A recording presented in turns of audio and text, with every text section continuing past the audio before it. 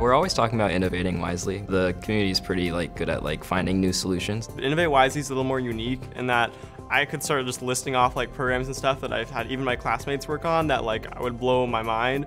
And I think just the amount of stuff that comes up constantly where all these new things that people are working on that like you never expect to work on in like a school environment is just amazing to me. I had this idea for having solar panels on EPS and I really got to voice that idea to my teachers and to my friends my fellow students and I really got to have that feeling of having an impact on not only my school community but possibly like helping the world be like a better place.